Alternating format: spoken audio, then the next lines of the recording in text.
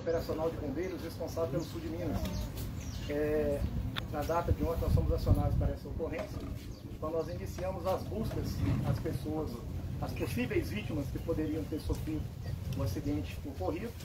Nós já encontramos agora à tarde mais dois segmentos corpóreos, que nos leva a crer que seriam o total das 10 pessoas desaparecidas, né, as 10 possíveis vítimas.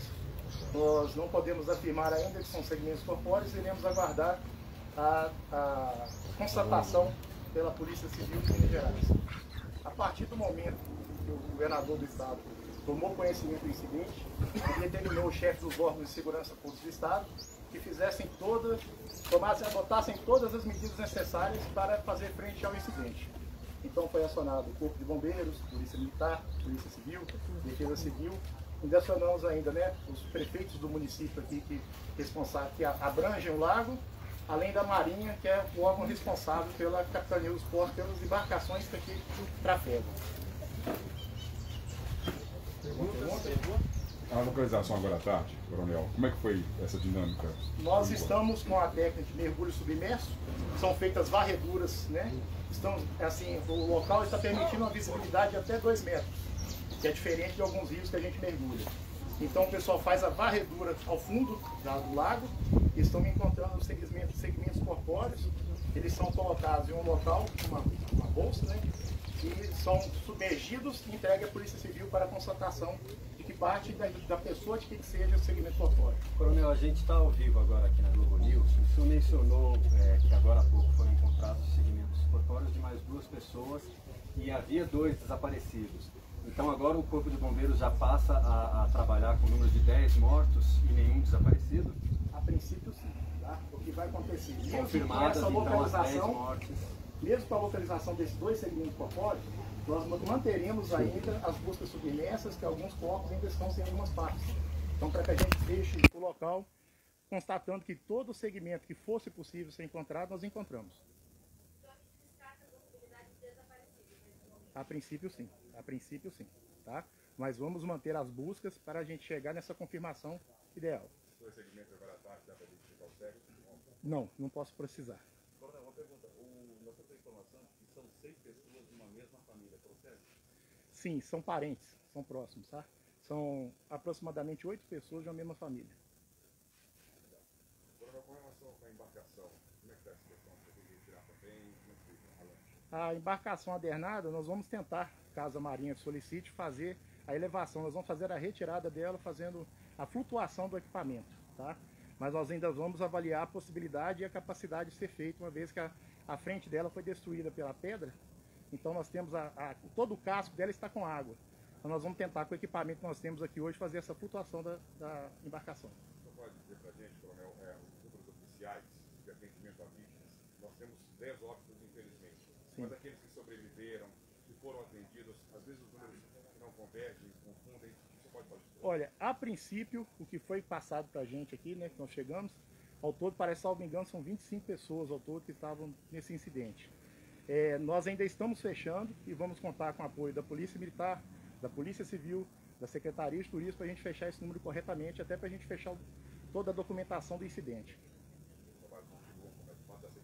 Sim, nós vamos permanecer ainda hoje, até enquanto a luz do dia permitir o, o, nosso serviço, né, de a gente fala de mergulho, tá? E provavelmente devemos continuar amanhã ainda essa última varredura na procura de todos os segmentos que a gente consiga localizar.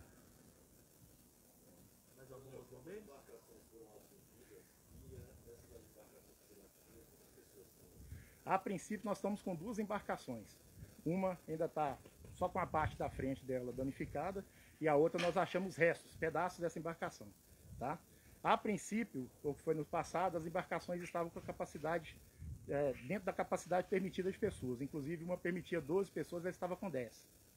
Quantas embarcações estavam nos cânions ali, naquele, naquele feixe de água? Ali não sei precisar, isso você vai ter que verificar com a secretaria lá, que eu não sei esse número correto. Está todo mundo assustado com o que aconteceu, mas ao mesmo tempo é, feliz porque não era um dia sol. E poderia ter um número muito maior de vítimas. O senhor também pensa dessa forma? Olha, a gente torce para que nada ocorra. ocorra. Um incidente desse é um incidente da natureza. Então a gente espera sempre que tudo transcorra na melhor normalidade possível. é, infelizmente pessoas faleceram. Né? Falar para o senhor que a gente é, queria que o incidente aconteça é impossível. A gente queria que aconteça, ninguém em sã consciência irá fazer isso. A gente espera que sim, que as pessoas consigam cumprir, passar pelo seu luto, né? E sobrepujar essa dificuldade que vão passar na sua vida.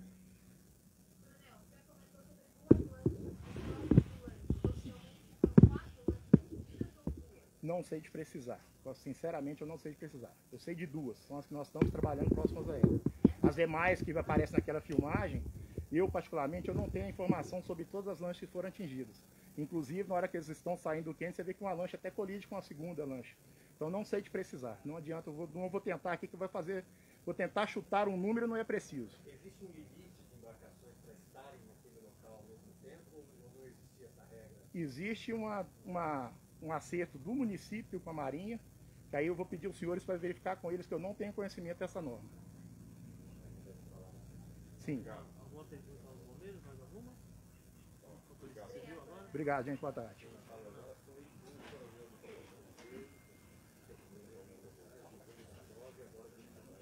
Boa tarde a todos. Meu nome é Marcos Pimenta, estou delegado regional em Passos, é, que compreende a área do local dos fatos tão breve, na data de ontem, a Polícia Civil ficou, foi cientificada dos fatos.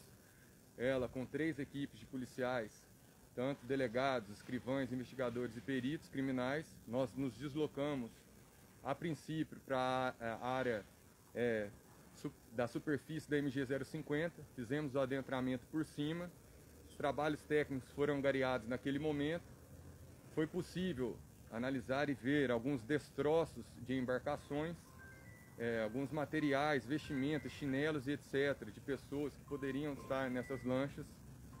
Posteriormente, ato contínuo, nós fomos para um clube náutico nas imediações, onde até o presente momento, e naquele momento já estava, há um grupo de trabalho envolvendo Polícia Civil de Minas Gerais, Corpo de Bombeiros de Minas Gerais, é, a Polícia Militar de Minas Gerais, a Defesa Civil, a Marinha do Brasil, e todos estão sem a menor vaidade incumbidos e todos envolvendo todos os esforços visando a localização do maior número de vítimas possíveis.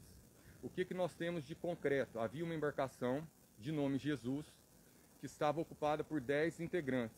Esses 10 integrantes, até presente momento, é, eles não apareceram né, e, e foram surgindo corpos e fragmentos de corpos. Então, muitas vezes eu vou me poupar falar aqui em respeito aos fam às famílias, tá? É, esses corpos, tão breve eles eram aportados no clube, nós fazíamos, juntamente com o perito criminal lá, da identificação célere, catalogando os destroços dos corpos e partes dos corpos, né? E ato contínuo esses corpos eram encaminhados para o IML na cidade de Passos, é a sede do posto de perícias integradas da Delegacia Regional de Passos. Ontem, então, já havia ao todo é, oito corpos, sete corpos naquele local, é, lá em Passos. Hoje de manhã mais um e agora com essa notícia total de dez pessoas. Nós fizemos um grupo de acolhimento com os familiares de, das dez pessoas que estavam em tese desaparecidas deste, deste embarca, dessa embarcação. Todos, antes mesmo de qualquer informação que eu passe para os senhores, eles são cientificados. Nós estamos trocando e dando celeridade, maior, é, a maior rapidez possível, a Polícia Civil está identificando e dentro daquilo que é possível, nós estamos fazendo para permitir um velório é, digno para essas, essas famílias enlutadas. Já conseguimos liberação de um corpo, então a Polícia Civil tem oficialmente a identificação de um senhor. Ele já foi, inclusive, é, o corpo dele liberado para a família para poder ser enterrado. Paralelo a isso, nós conseguimos um reconhecimento precário, que a gente fala, que são os familiares que lá estavam, com fragmentos corpóreos e também com algumas características, aparelho, tatuagem, é, é, enfim, é, anel, enfim, mas que para a polícia carece de robustecer esses indícios. Como que nós vamos robustecê-los? Pegando material genético dos, cor dos corpos e fragmentos, comparando com filho, ascendente e descendente, para ter uma confirmação oficial. A polícia, tá, a polícia Civil vai trabalhar com a maior cautela. A gente entende é, esse anseio por informações, mas oficialmente a Polícia Civil tem um nome já, já afirmado e, e o médico legista falou que um segundo nome foi identificado nesse momento. Então teriam dois indivíduos já comprovando, comprovados e os corpos nós estamos analisando em passos, tá? E toda informação, como dito anteriormente, é previamente informada, é repassada, né, para as famílias, para então liberar as informações para os senhores. É... Tem, creio que sim, é, não tenho aqui na minha, nas minhas mãos, porque foi nesse momento, mas em breve eu passo para os senhores. É, a Polícia Civil, ela também instaurou um inquérito policial, paralelo ao inquérito que vai tramitar pela Marinha, visando averiguar se há responsabilidade de terceiros no fato. A princípio, nós, o nosso foco principal e de todos os atores é localização do maior número de vítimas possível. Nós estamos concentrando nossos esforços para isso. Posteriormente, nós vamos ver, ouvir geólogos é, sobre o, se teve algum problema lá de, de estrutura, mas a princípio nós estamos querendo identificar e acalmar, acalentar essas famílias enlutadas. Doutor, há um vídeo que circula em que uma mulher desesperada grita né, para as pessoas para saírem, Sim. a feira estava descendo, aquela questão toda e tal. É, vocês ouviram sobreviventes já, já ouviram testemunhas? Ne- Você tem para entender por que, que a embarcação não saiu? Sim, ainda não fizemos esse trabalho. Fizemos sim o trabalho, ouvimos o proprietário da, da, da lancha Jesus. Ele estava numa pousada junto com essas 10 pessoas. E antes da- dessas 10 pessoas saírem para o passeio, ele tirou foto. Essa fotografia está conosco e está nos auxiliando na identificação desses corpos lá no IML em Passos.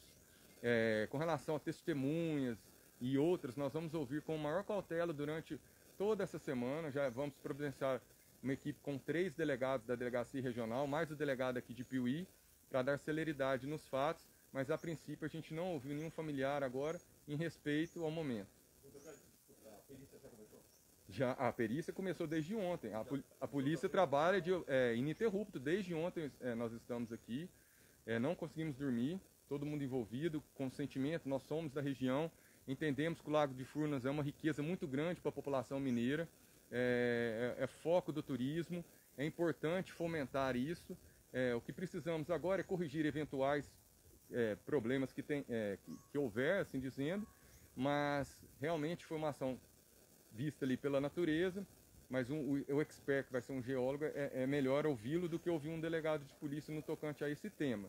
A gente acredita que a ação do vento, é, o som que pode ter de alguma lancha e a chuvas né, em grande volume pode ter provocado, mas isso no decorrer dos anos, né, não de uma hora para outra.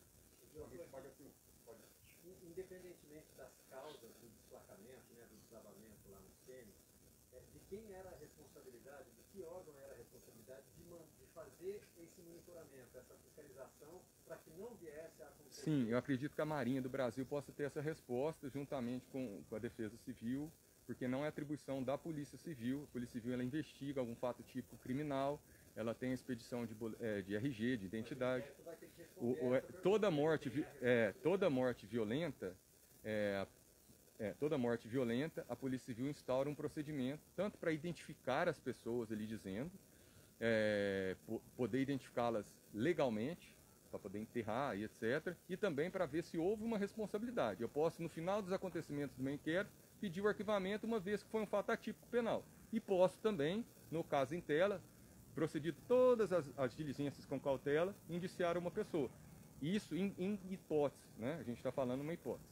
Esse, esse, esse passeio particular, você conversou com o proprietário da lancha. Sim, Paga-se um valor. sim. do- no, ca- no caso em tela, a- o dono da lancha, o proprietário dessa lancha que eu vi, ele, ele é, é parente da maioria das ilhas. Possivelmente ele não cobrou, ele Eu te emprestou. essas, essas vítimas elas estão seguradas? Porque vocês não fazem parte Sim, é- é, na verdade aqui você pode ter emprestado também a lancha. A gente não chega, a gente, ele está até nos ajudando a reconhecer é, formalmente as pessoas. Ele está lá, morreram várias pessoas da família dele. É, ele está, ó, esse aqui, enfim, ele está nos ajudando lá, pessoal. Peço só sensibilidade no caso em tela, mas vai ser ouvido. Nós não vamos poupar esforço. Todos os questionamentos que vocês estão fazendo, eles serão esclarecidos no momento oportuno. O importante agora é, dar, é acalentar essas famílias enlutadas, identificar o maior número de, de vítimas possíveis e, e posteriormente, com, com, cautela, com serenidade, a Polícia Civil vai esclarecer as questões. CNN ao vivo, delegado, gostaria de saber, a Polícia Federal disponibilizou o núcleo de senhores. Os senhores vão usar? Sim. a segunda pergunta, tá. completando essa, os senhores criaram um grupo de WhatsApp, que tipo de informação está segurando e tá. qual é tá. a, vantagem para vocês? Tá, são... Primeiro, a Polícia Federal é, em é, sempre é prestativa com a Polícia Civil de Minas Gerais e prontamente disponibilizou o seu Instituto de Identificação, é, que já, a gente já troca informações quando há explosões de, de caixa eletrônica, etc. Então é o mesmo tipo de aquisição de, de material para genética. Ainda não foi necessário. Isso, quem vai sentir se é necessário ou não, são os peritos criminais da cidade de Passo. Ah, para vocês terem ideia, nós estamos aqui para atendê-los. Há uma equipe composta com, é, com investigadores e com peritos criminais onde os corpos estão sendo levados. A outra equipe da Polícia Civil trabalhando no IML, então é um lápis é muito grande, é um vasto número de, de policiais civis.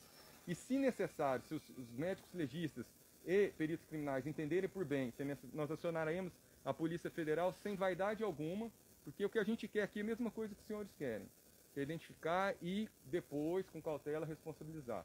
A outra pergunta, você me per... desculpa. Sim, o grupo que nós criamos é, são dois grupos. Um de trabalho entre todas as instituições, visando evitar é, informações é, confusas. Né? né? Então a gente criou esse grupo para atender, é um comando rápido, célere.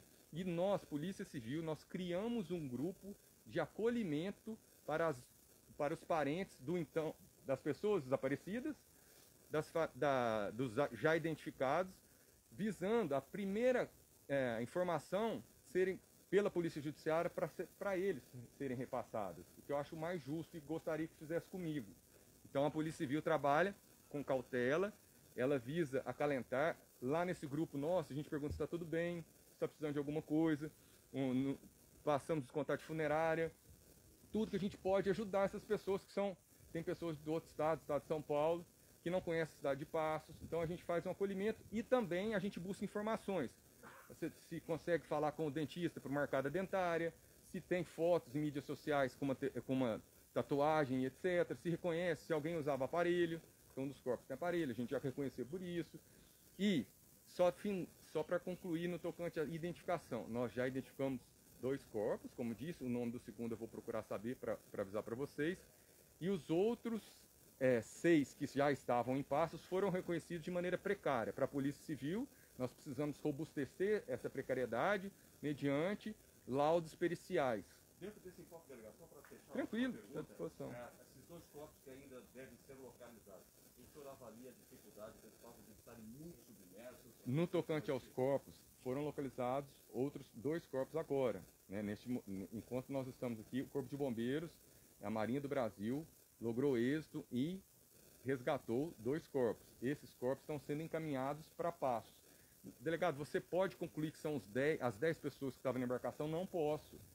Formalmente, eu careço de provas técnicas. A Polícia Civil trabalha com informação técnica, que às vezes a informação que o jornalista tem é muito mais séria do que a que eu posso dar.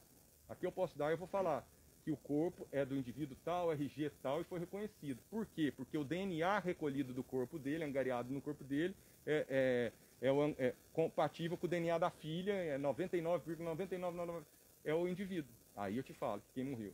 Antes, a gente pode só falar que houve o reconhecimento precário dos outros corpos. E esses dois corpos que foram localizados agora, por óbvio, eles são, vão ser encaminhados a passos, nem o precário nós temos, porque a, o núcleo familiar está lá. Se o senhor trabalhasse com 10, então você acredita que concluiria já a busca? Não, eu não consigo te afastar. Por exemplo, eu posso ser um forasteiro, ser um turista de Ribeirão Preto, estou, estou aqui. Aqui é um, um núcleo muito grande de turismo regional e nacional. É muito é linda a região. Pode ser que eu estava caminhando lá, eu e uma pessoa, estamos lá e caiu a pedra.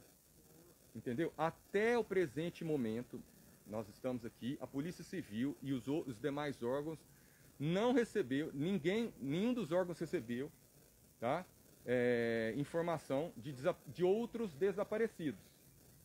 Só que se for um forasteiro, um, uma pessoa sozinha, Pode ser que esteja? Pode ser que esteja. O Corpo de Bombeiros, como dito anteriormente, ele irá continuar com seus trabalhos. A Marinha vai continuar com seus trabalhos. Nós estamos iniciando, nós não estamos com pressa de terminar o trabalho.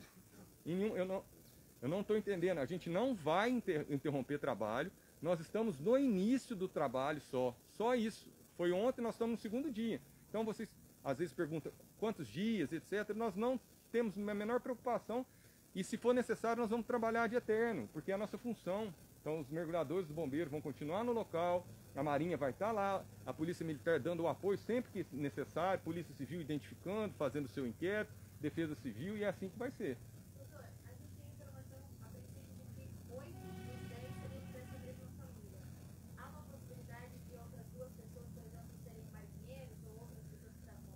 Não, o, o piloto, precariamente, ele já foi, já foi identificado, tá? É, há ali um avô, uma avó, o pai e uma, um adolescente de 14 anos. Havia também ah, outras pessoas. Eu, eu, eu passei hoje, nós fizemos uma, uma, uma para a imprensa em Passos. Se alguém tem, é, tiver os dados, eu peço que compartilhe, porque lá está a idade e a naturalidade. Fica mais fácil para os senhores. Eu não passei os dados completos, porque completos só da pessoa que nós já tínhamos identificado naquele momento. Agora nós vamos ter dois, eu vou passar para os senhores. Então, breve, o, legista me, o médico legista me passa a qualificação. Todos se conheciam, é, eles estavam num ambiente que é muito comum, é cercado por ranchos, a, a, região é, é, linda, é maravilhosa, ela é, centraliza turistas do Brasil inteiro, é, vira e mexe a propaganda nas mídias e etc. É, infelizmente aconteceu, é, eles estavam nesse rancho e havia um casal da região de, de, do estado de São Paulo. Muito provavelmente eles foram apresentar os cânions para esse pessoal e numa fatalidade caiu a, a pedra em cima deles é, de maneira feroz, né, igual todo mundo pôde ver no, no vídeo. E com aquela com a onda, com aquele choque, outra lancha que estava no local submergiu. Então foram duas lanchas. Essa primeira que, que, que não teve vítimas, né, elas, vítimas fatais, teve seu primeiro socorro e foram socorridos pelas outras duas lanchas que estavam no local. A gente tem um número tudo, tudo certo lá, mas é, seria também leviano da minha parte, igual o comandante do Bombeiros falou, Giovanni, não, eu seria leviano em, em, falar um número agora, minha cabeça também, dados, números. E quando as atividades poderiam ser retomadas, existe uma previsão para isso? A, a, a Defesa Civil que vai falar se ela vai liberar a área ou não. A prefeitura do, do, dos municípios São José da Barra, Capitólio, que são limites, e São João Batista do Glória, que é outro município que circundam aqui, né, que são limítrofes. Nós vamos dar todo o apoio aos, aos municípios da região no que for possível e já estamos tendo todo o apoio dos municípios em logística, estão nos ajudando também. É isso que nós temos aqui da Polícia Judiciária. Saindo daqui, só para findar, eu vou para o ML em Passos, e farei nova, nova contabilidade, nós vamos averiguar. Só deixar bem claro para os senhores que não é uma perícia fácil de fazer, não é uma perícia, uma perícia rotineira de fazer. Ela carece de uma atenção maior, de umas peculiaridades que o caso tem que respeitar. A gente não pode acelerar mais do que a gente está fazendo. Tá? Peço a compreensão de todos.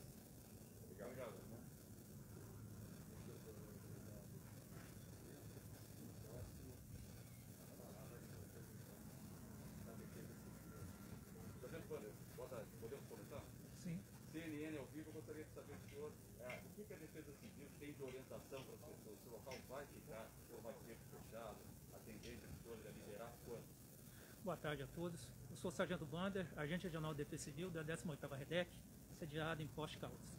Bom, a, assim nós tivemos a notícia do evento ocorrido no Capitólio, deslocamos para o local onde foi instalado o posto de comando de operações, tomamos conhecimento dos fatos e fizemos contato também com a coordenadora municipal de proteção de defesa civil é, de Capitólio, Ângela, é, que já tinha tomado algumas medidas preventivas, que é a interdição de alguns acessos, para facilitar o trabalho dos corpos de bombeiro e dos demais órgãos de defesa social. E atualmente nós vamos fazer uma nova reunião com os prefeitos municipais e vai, nessa reunião vai ser estabelecidos as próprias as outras normas que vão ser é, colocadas em prática para manter a segurança dos turistas da região eh, os trabalhos, se vai ter os geólogos para fazer os laudos da área, para depois ser liberada todas essas áreas. Depois dessa experiência, né, é possível que a Defesa Civil oriente a região para alguns procedimentos de segurança que eventualmente não foram tomados nesse tempo? Ah, Capitólio, São João Batista do Glória e São José da Barra têm históricos de cabeça d'água. Então, desde é, final de em 2020, onde aconteceu essa, esse evento adverso aqui de cabeça d'água, já foi feito várias campanhas preventivas para os turistas, é justamente para prevenção, preparação, é, emitido alertas é, como é, chuvas intensas, cabeça d'água, justamente para ter esse trabalho preventivo e dar tempo aos banhistas, aos turistas se prevenirem, para é, é, escolherem os locais apropriados para frequentarem e que Capitólio é uma região rica em turismo. Então nós temos essa preocupação desde muito tempo sobre emitir esses alertas, justamente para as pessoas se prepararem e se prevenirem. Sargento, mais cedo a gente conversou aqui na Globo News com a Tenente Coronel Graciele, da Defesa do Estado de Minas. Ela disse que a responsabilidade da fiscalização e do monitoramento é, de risco daquela área é da Prefeitura. Eu queria é, reforçar isso para o senhor é, entender de quem era a responsabilidade de manter um monitoramento constante daquela área para evitar a tragédia que acabou não sendo evitada, deixando 10 mortos. De quem era a responsabilidade de fazer uma análise daquele local com frequência para saber se ele era adequado para receber turistas, como recebeu ontem nessa tragédia? Como o próprio delegado relator, esse não é o momento, é, logicamente, nós estamos mais preocupados nas buscas e essas responsabilidades, em decorrer do inquérito, então seria leviano eu falar alguma coisa referente a isso, principalmente eu, eu que está sendo... A responsabilidade do acidente das mortes, eu estou olhando para trás, a responsabilidade de fiscalizar o local... isso vai ser verificado no, no terreno do inquérito, isso vai ser verificado. Então seria leviano, então, desde que está, é, estão em inquérito já... Civil, Marinha, será, será verificado posteriormente, será verificado. Senhores vão manter essa estrutura de buscas, ah, o delegado acabou de falar agora há pouco que não existe uma preocupação com o tempo, existe uma preocupação sim com o trabalho para ser realizado. Mas os senhores não trabalham com uma determinada data, um ponto para encerrar as operações? Não, logicamente nós estamos preocupados logicamente em terminar as buscas para dar logicamente aos seus entes queridos, né, aquele enterro realmente que são merecidos. Então eu creio que até achar todos os fragmentos, as operações irão continuar.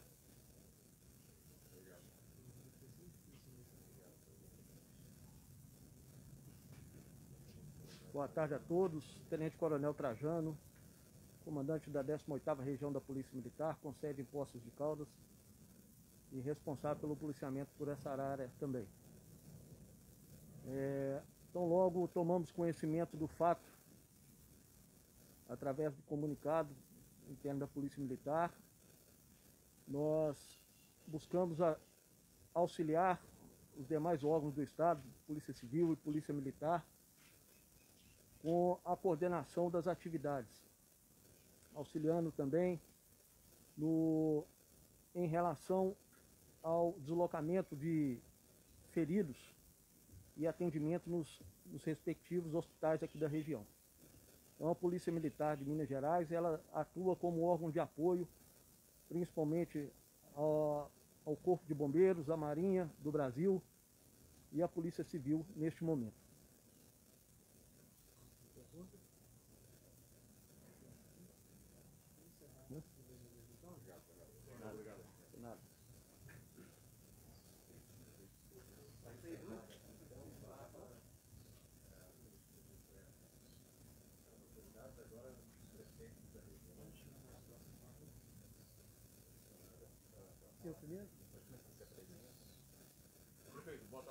Boa tarde, Serginho, prefeito aqui, estou prefeito de São José da Barra. E eu queria lamentar esse ocorrido é, em respeito aos familiares. A minha cidade está abalada, nós perdemos três entes queridos, é, vidas que importam muito para São José da Barra. Mas temos que enfrentar essa situação e de cabeça erguida nós vamos enfrentar.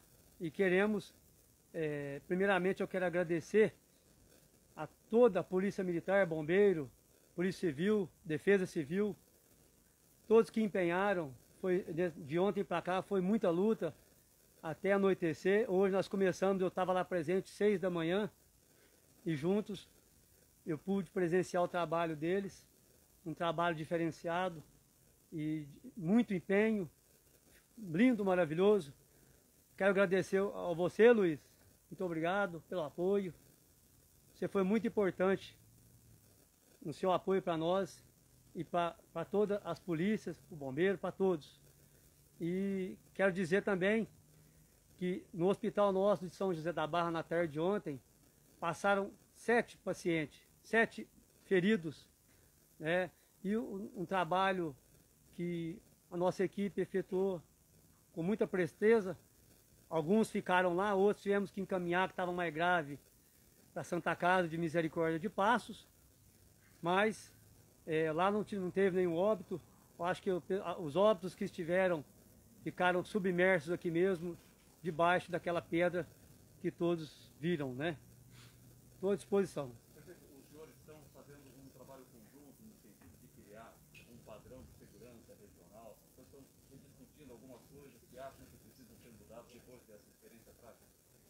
Amanhã ah, já, já, marcamos uma reunião às 9 horas da manhã aqui na Marinha do Brasil, juntamente com, com o comandante da Marinha e eu com o prefeito Capitólio que está aqui junto comigo, o Cristiano, juntamente com a Defesa Civil, é, o prefeito também de São João Batista do Glória, que não pôde estar presente aqui hoje, mas está aqui representado pela sua secretária, e iremos amanhã né, abordar esse assunto e ver o que, que pode ser feito para estar ainda mais protegendo o nosso turista e a nossa população. Se, é, se tiver algo que possa ser feito para estar ainda mais melhorando a segurança, amanhã nessa reunião estaremos abordando. Bom, foi esse comentado de, do turismo aquático, nós estaria acontecendo mais, a determinação que foi prevista, você pode falar sobre isso? É, realmente eu via essa reportagem e não, não teve essa conversa. O prefeito de Capitólio Cristiano vai falar e vai comentar aqui também, mas realmente hoje, um dia de luto, um, um dia de muita dor para o nosso povo, não deu tempo da gente pensar nisso. Podemos pensar em amenizar o sofrimento das famílias enlutadas que estão aí né, nesse dia tão sofrido para nós.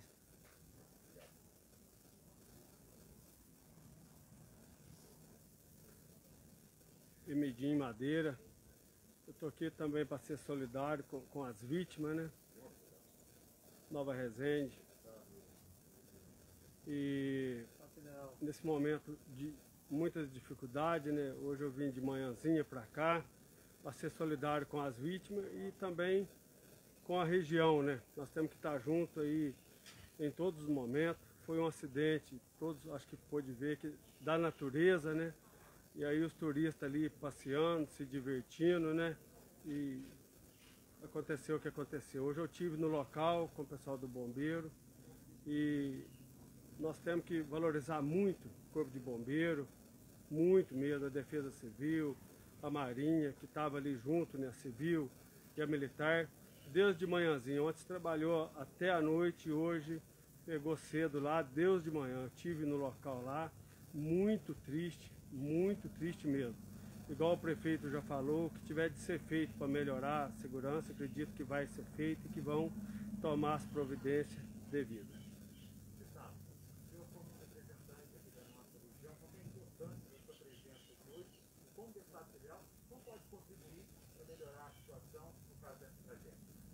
Então, nós temos que estar juntos em todos os momentos, né?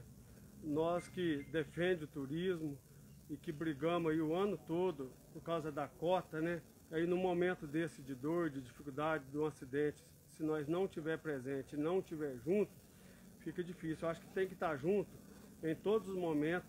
O que tiver de ser feito vai, vai ser feito e o que depender do nosso mandato, de nós lá em Brasília, pode ter certeza que o que for para melhorar, pode contar com a gente.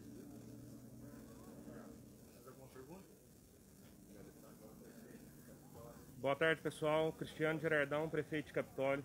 eu gostaria de iniciar é, a minha fala agradecendo a pessoas que foram fundamentais para que essa tragédia não fosse maior, para que esse desastre não fosse maior. Os marinheiros das lanchas que estavam lá no local e que conseguiram sair. Foram pessoas corajosas, foram pessoas autênticas que retornaram ao local para poder resgatar as vítimas que haviam caído das lanchas. Então, inicio agradecendo a eles e parabenizando eles por essa atitude. Também ao Vanderlei, que é o fiscal que estava lá no local na hora, ele retornou lá, como vocês podem ver no vídeo, ele foi, uma, foi aquele, aquele rapaz no jet. É, se vocês prestarem bastante atenção, aquela ação dele conseguiu retirar pelo menos três lanchas do local. E ele retornou após o acidente, resgata, ajudando a resgatar também duas crianças que estavam lá no momento, colocou elas no jet, levou elas para outra embarcação e os demais marinheiros lá que estavam ajudando. Como o prefeito Serginho já agradeceu aqui, né, todos os demais órgãos que estão trabalhando incansavelmente, agradeço eles também. É, agradeço aí todos os voluntários que ajudaram, né? O Serginho também comentou aqui o Luiz, é, o pessoal da Nova Capitólio, o pessoal dos bares flutuantes, o pessoal da Lagoa Azul. É, agradecer a todos eles pela mobilização que foi feita e foi uma mobilização muito rápida que aconteceu, porque por volta de meio-dia e meio nós fomos comunicados né, desse desastre que aconteceu. É, foi mobilizado muito rápido, as pessoas aqui do, do Turvo, Luiz, contactou o bombeiro, é, agradecer as cidades vizinhas aí que mobilizaram ambulâncias, a Santa Casa de Capitólio, que além de mobilizar ambulância, mobilizaram pessoas que estavam de folga naquele momento para estarem na Santa Casa, para se preparar, para poder receber as vítimas. Agradecer também a equipe de saúde do município, que também se mobilizou e veio para o local, né, esses locais aí de resgate. Então foi um trabalho muito rápido, onde foi possível levar rapidamente as vítimas acidentadas para Santas Casas, né? como eu falei, de toda a região. São José da Barra, Piuí, Passos, Capitólio, é, o Glória também. Então foi uma ação muito rápida. Nós estamos aí né, transtornados com esse desastre, com isso que aconteceu, que ninguém nunca tinha visto aqui na nossa região. Capitólio foi decretado luto oficial ontem por três dias, né, em solidariedade às vítimas a família das vítimas e as pessoas que se acidentaram aqui e também em solidariedade às pessoas que trabalham, que vivem, que moram aqui em Capitólio, São José da Barra, Glória, Passos. Nossa região, ela emprega pessoas aí de toda, todas as cidades circunvizinhas nossas aqui. Então foi em solidariedade a essas pessoas, principalmente as vítimas. E abro aí agora para perguntas.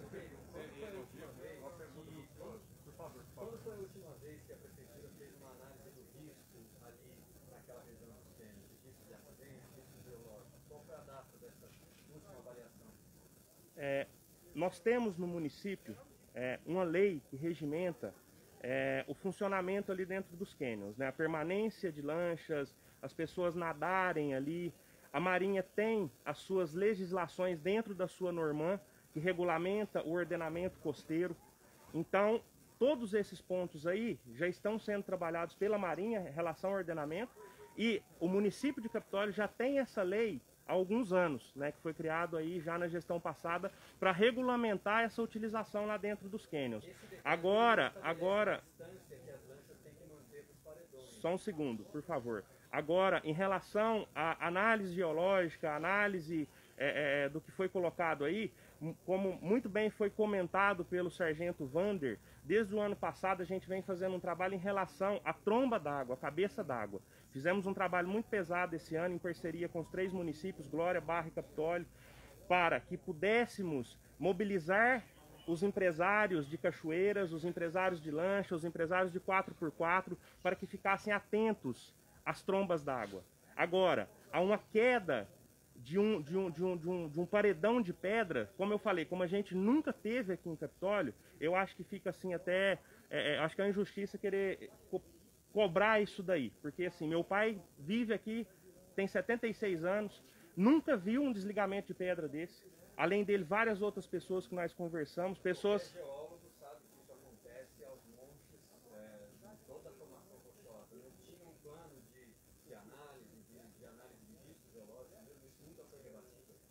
Então, até o momento não. Eu acredito que assim, a gente olhar é, para dentro de uma tragédia e fazer um questionamento desse, eu acho que não seria, não seria virtuoso. Acredito que daqui para frente, sim, a gente precisa fazer uma análise dessa. Porque isso daí, é, é, ah, foi uma falha de quem explora o turismo, quem não explora. Não acredito que seja, porque aquilo ali está ali, aquelas falésias estão ali já há milhares e milhares de anos. É, essa formação rochosa que nós temos de quartzito, ela tem essa característica de ter essas fendas, de ter essas fissuras. Então, assim, já foram feitos vários estudos aqui, já teve geólogos de vários locais do Brasil que já fizeram estudos sobre a pedra de quartzito. Então, assim, se teve, se tinha algum risco, acredito que deveria ter sido emitido através de um órgão superior, alguém que, que, que tivesse um, uma superioridade para estar tá emitindo essa, esse parecer. E agora o lago fica fechado por quanto tempo? Então, como meu amigo Serginho falou, prefeito São José da Barra, amanhã nós teremos uma reunião né, com a Defesa Civil, Marinha, Polícia Militar, né, se o bombeiro puder participar também, é, seria muito bom. É, nós estamos preocupados agora em sentar com eles para a gente conversar, traçar aí qual que será o caminho, então a gente ainda não tem essa resposta agora. E a nossa preocupação em atender a família das vítimas, né, dar o suporte às pessoas que se acidentaram, às pessoas que né, vivenciaram aquilo ali naquele momento.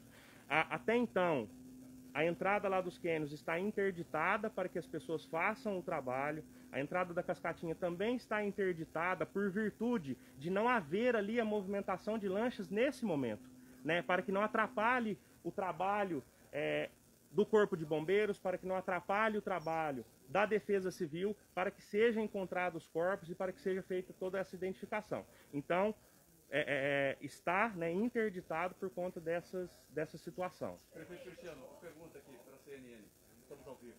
O senhor já foi marinheiro, o senhor trabalhou aqui com essas antes. O senhor acha que é, foi, é segura aquela aproximação em relação aos paredões, aos quênios? E se o senhor não considera seguro, o senhor acha que nessa provável intervenção dá para regulamentar isso? Olha, as anchas devem ficar a uma certa distância, ser mais prudentes?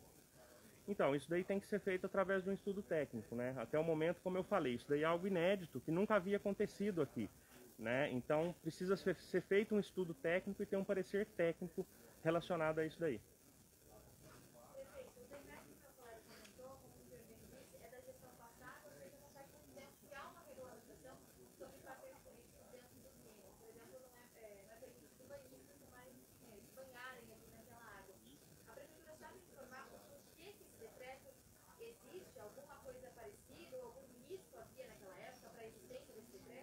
Segundo o ordenamento costeiro, está nas normãs da Marinha, as áreas de banho, elas não podem ter acesso de lancha, é, se não me engano, por menos de 200 metros. Então, devido a isso daí, foi colocado nesse decreto é, essa proibição das pessoas se banharem naquele local, porque é um local onde as lanchas entram para contemplar as duas cachoeiras. Então, tendo ali banhistas em qualquer parte que seja dentro do cânion, o risco é muito grande. Então, acredito eu, não estava na gestão passada, mas foi baseado nas normãs que regulamentam as áreas de banho pela Marinha. Após esse incidente, na reunião que vai acontecer amanhã também, há uma possibilidade das prefeituras decretarem uma distância mínima desses paredões? Então, a gente precisa do estudo técnico, né? Agora, nesse momento, a gente não, não, não consegue responder isso. Deve permanecer fechado, então, por algum tempo, até todos esses estudos serem feitos, né? Começo da área de até que seja feita a liberação aí pelos órgãos competentes.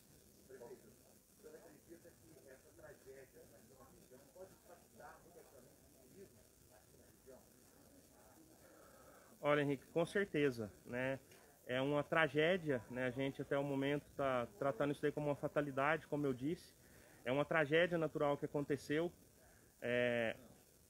Eu peço, né, a todos, aproveitando aqui em rede nacional, para a gente tomar cuidado em relação às fake news, em relação às informações que são é, é, é postadas, porque foi postada aí uma foto né, de 2012 de uma fissura, essa, essa, essa pedra ainda está lá, pessoal. Então, assim, isso daí a gente trata como uma fatalidade porque realmente não estava visível aí como essa pedra que está lá é, no centro dos cânions desde 2012 com essa fissura.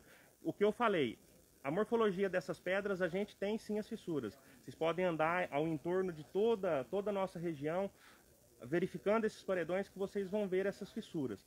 Então dizer que foi um, um algo já premeditado, que já estava vendo, que já é, era possível ter visto isso daí, não, não acredito nisso. Prefeito, uma questão. Os novos empreendimentos estão surgindo na região, todos estão é, regulamentando com mais é, rigor as licenças é, depois dessa experiência. Eu acho que é preciso rever algumas coisas nesse sentido, porque isso traz um impacto também para o meio ambiente. Estamos preocupados com isso. Com certeza, a gente está preocupado com, a, com o turismo sustentável, né, buscando aí sustentabilidade, não só para Capitólio, mas para toda a região, São José da Barra, Glória.